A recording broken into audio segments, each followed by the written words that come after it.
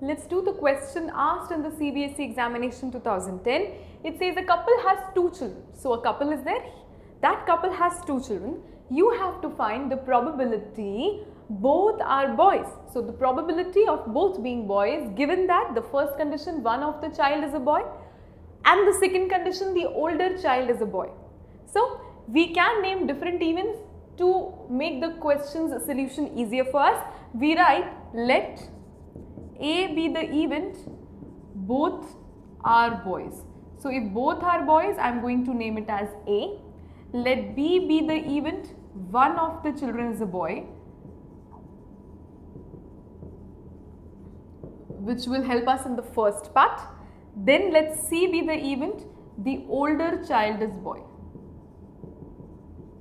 Now definitely there will be only two things, either a boy or a girl. So what can be the sample space associated? That both are boys means the first is also boy, the second is also boy. Or the first is a boy, the second is a girl. Or the first is a girl, the second is a boy or both are girls except that no condition is there.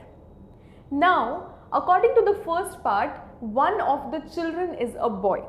So I have to compute the probability that one of her children is boy when it is given that uh, sorry I mean to say I have to find out the probability that both are boys when it is given that one of her children is boy. So given that means this is a case of conditional probability. So find the probability both are boys means P of A when given one of her children is a boy. So this would be P of A intersection B whole over P of B. Right? So one of her children is boy. Now one of her children is boy means 1 and 2. Two conditions. So in the denominator I'll write 2. What about the numerator? Intersection of both are boys with one of her children is a boy. So both are boys with one of our children is boy. We have to find out the intersection of that. Now this has to be taken care that if I write one of the children is boy, that means either both can be also boys. See in this case, I say one child is boy, correct? both are boys that also means one child is boy. In this case also one child is boy, in this case also one child is boy. So in the denominator and in the numerator you have to carefully check. So in the denominator it will be 3 over 4 and in the numerator what will it be? It says the intersection. So the intersection will be only one case where both are boys. So that is the intersection.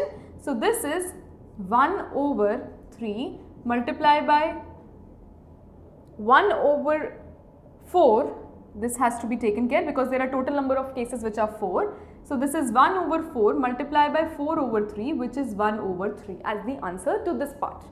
The second part is probability of both are boys again but this time you have in the denominator C because this is with respect to older child as a boy. Now how to do it? Again the intersection over the total number of cases. So the older child is boy, older child is boy comes in 1 and 2 cases. So this is 2 over 4 which is 1 over 2 and in the numerator I say P of A intersection C means both are boys and older child is boy which means the only first case. So 1 of 4. So this is 1 of 4 into 2 which is 1 over 2. So 1 by 3 and 1 by 2 are the answers to this question.